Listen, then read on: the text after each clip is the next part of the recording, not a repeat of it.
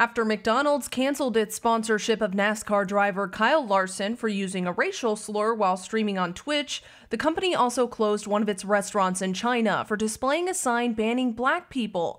McDonald's tells CNN the sign was removed and it's working to educate managers and employees of company values.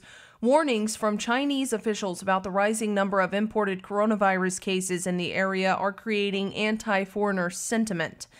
Katie Johnston for CBS 13 News.